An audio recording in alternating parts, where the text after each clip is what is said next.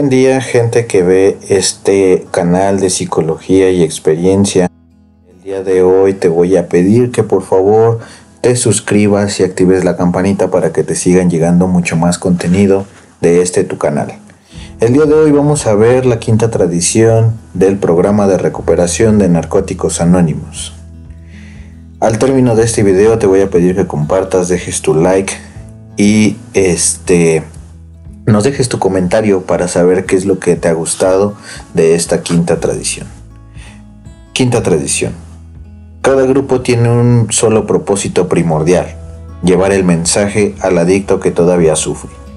Nuestro propósito primordial está en el centro de, nuestro servicio, con la orientación de un poder superior y sin perder de vista este propósito, los grupos DNA se convierten en canales del poder sanador de la recuperación. Narcóticos Anónimos existe para ayudar a los adictos a librarse de la adicción activa. Si defendiéramos otras ideas o persiguiéramos otros objetivos, nuestra mira se empañaría y disminuirían nuestras energías. La quinta tradición nos pide que practiquemos la integridad manteniendo nuestro propósito en primer lugar.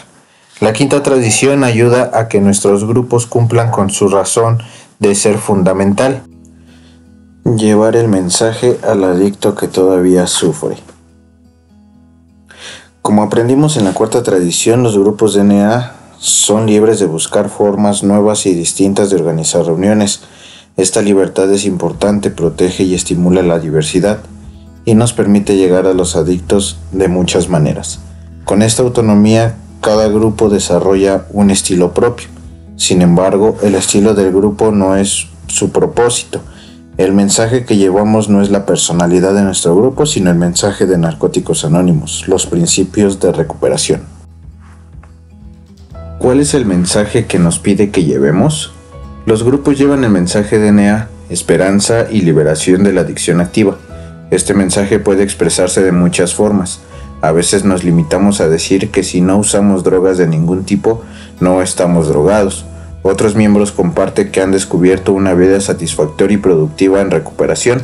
A veces el mensaje que compartimos es que podemos mantenernos limpios aunque la vida sea dolorosa. El despertar espiritual que experimentamos al practicar los pasos también, también es nuestro mensaje. Cuando los adictos recibimos el mensaje de recuperación, se alivia nuestro sufrimiento no importa cuál sea su causa, podemos vivir sin drogas y establecer una nueva vida. Ese es nuestro mensaje, que un adicto o cualquier adicto pueda dejar de consumir drogas, perder el deseo de consumirlas y descubrir una nueva forma de vida. El objetivo de los grupos de llevar el mensaje es tan importante para la supervivencia de NA que se le conoce como nuestro propósito primordial significa que es lo más importante que hacemos. Nada debería tener prioridad sobre ello. Es la pauta básica más importante por medio de la cual los grupos pueden examinar sus motivaciones y acciones. Hay muchas formas de que nuestros grupos puedan promover nuestro propósito primordial. En términos generales, los miembros del grupo comienzan por crear un ambiente de recuperación en sus reuniones, lo que incluye darle la bienvenida a todos los adictos que asisten. Las reuniones estables que comienzan puntualmente llevan un mensaje de recuperación. Los formatos de reunión eficaces nos mantienen centrados en el propósito primordial y animan a los miembros que participen de una forma que refleje recuperación. Guiamos mediante el ejemplo, compartiendo experiencia en vez de consejos. Los miembros del grupo ayudan a promover nuestro propósito primordial cuando asumen su responsabilidad personal de que la reunión gire en torno a la recuperación. Todos nuestros actos transmiten un mensaje y la quinta tradición nos recuerda que sea un mensaje de recuperación. Hay muchas influencias que distraen y pueden apartarnos de nuestro propósito primordial. Por ejemplo, puede que los grupos caigan en la tentación de usar el tiempo de reunión para discutir cuestiones administrativas o financieras o para hablar de alguna controversia. Como individuos, puede que empecemos a charlar con nuestros amigos e ignoremos a otro adicto que quizás esté sufriendo y necesite nuestro apoyo. Pero cada vez que dejamos de prestar atención a nuestro propósito primordial, el adicto que busca recuperación sale perdiendo.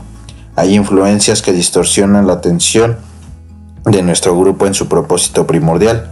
Con el dinero que aportan los miembros, nuestros grupos pagan el alquiler de su espacio de reunión, compran literatura, llevan a cabo las actividades y mantienen los servicios de NEA. Todo esto puede ayudarnos a promover nuestro propósito primordial o apartarnos de él. Algunos grupos intentan superar a otros con salas de reunión lujosas, refrigerios extravagantes, pedidos enormes de literatura y actividades rebuscadas. Cuando lo hacemos nos apartamos de nuestro propósito primordial y nos centramos en el dinero, la propiedad y el prestigio. Debemos tratar de hacernos una buena reputación para llevar el mensaje, nada más y nada menos.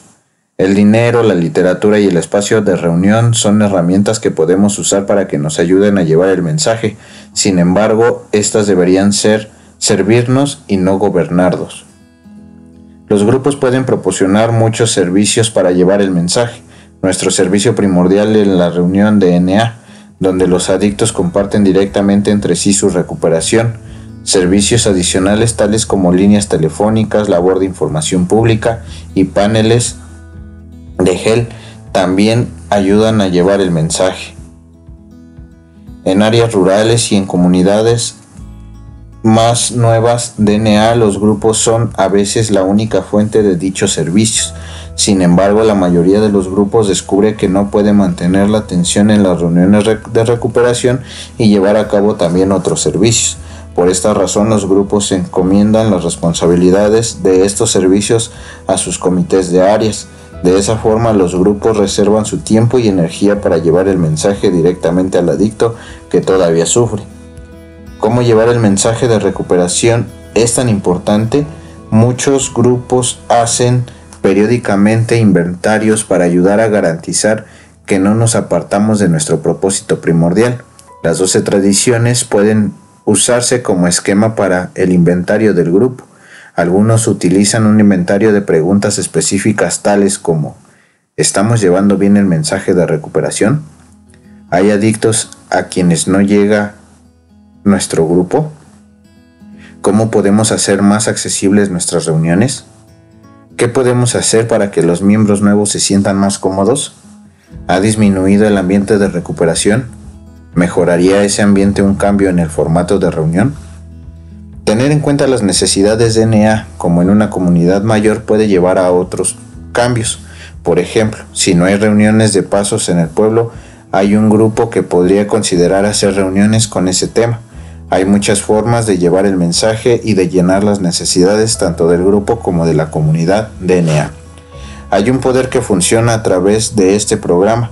Utilizamos este poder cuando practicamos el deudécimo paso con individuos, llevando el mensaje a otros adictos.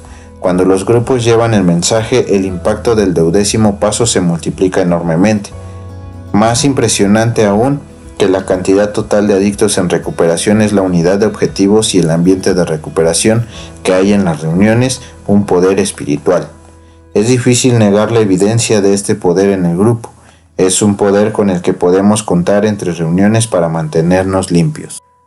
La quinta tradición centra la prioridad del grupo en llevar el mensaje. Los miembros pueden hacer muchas cosas para promover nuestro propósito primordial, por ejemplo, mostrar nuestro interés y nuestra disposición de ayudar turnándonos para saludar a la gente en la puerta, preparar listas de números de teléfono para distribuir o ofrecer literatura al recién llegado.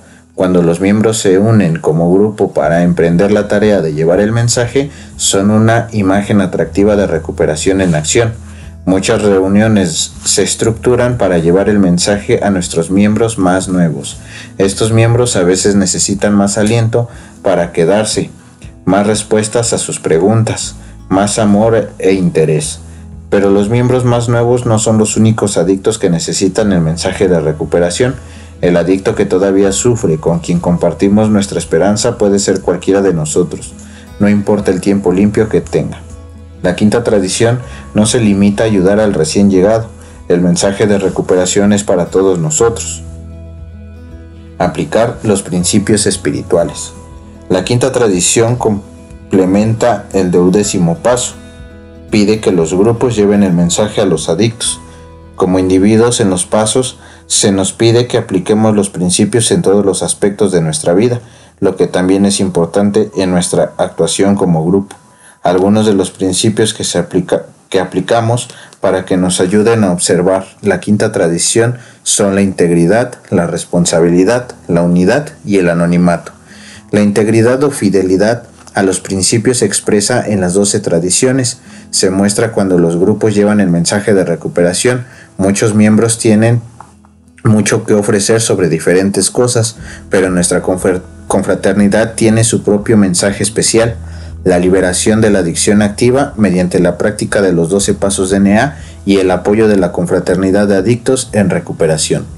Los grupos lo demuestran cuando brindan un apoyo rotundo y consciente a los adictos que quieren practicar el programa de NEA. Si los grupos cultivan a conciencia este tipo de integridad, sus reuniones promueven nuestro propósito primordial. La quinta, tradición pone una gran responsabilidad sobre nuestros grupos, mantener el propósito primordial de nuestra confraternidad.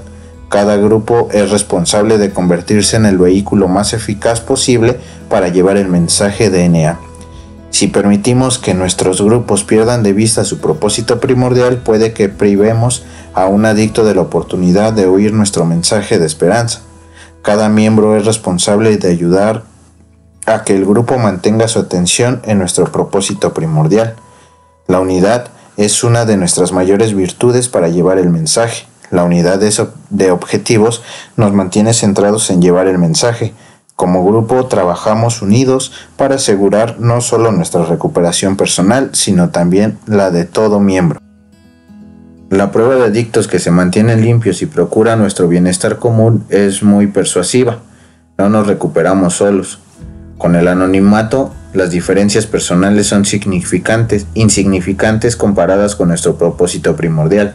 Cuando nos unimos como grupo, nuestra primera tarea es llevar el mensaje. Todo lo que todo lo demás debe dejarse a un lado.